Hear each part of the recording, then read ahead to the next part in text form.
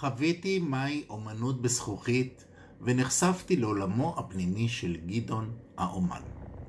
חברים יקרים, פתחתי את השנה החדשה בסימן של יצירה. היום חוויתי חוויה מיוחדת במינה כשביקרתי במוזיאון הזכוכית בערד. נחשפתי לאומנות בזכוכית שלא הכרתי, והיה לי העונג והכבוד להיחשף לעולמו הפנימי הגדוש, המעניין, המרתק של האומן גדעון פרידמן, המפסל בזכוכית בשיטת פיוזינג וסלאמפינג, בחום של 800 מעלות. יצירותיו הן תוצר של מהות, שליטה, תוכן ואמירה. ראו פרטים באתר האינטרנט של מוזיאון הזכוכית בערד.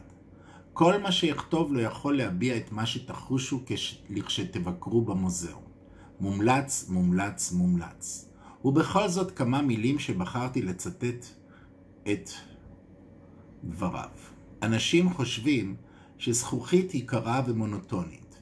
למעשה הזכוכית דינמית חיה ומשקפת הרבה בחום בתוכה ודרכה. פיסול בזכוכית היא אומנות לגיטימית. זהו ענף אומנות ייחודי שאי אפשר להחליפו בחומרים אחרים.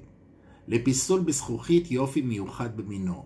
האור, הצל והצבע מעשירים את דמיונו של המתבונן. עבודת אומן הזכוכית נמדדת ביכולתו להתמודד עם היופי של החומר.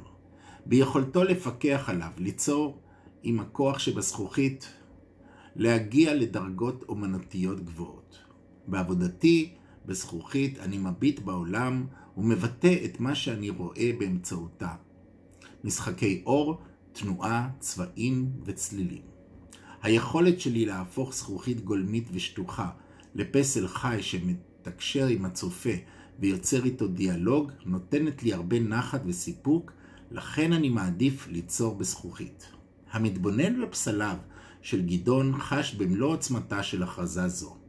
תקוותי שהיצירה תוביל את השנה החדשה בכל תחומי חיינו, ובכך נהנה, נשתפר, נפתור בעיות ונהיה חברה טובה יותר.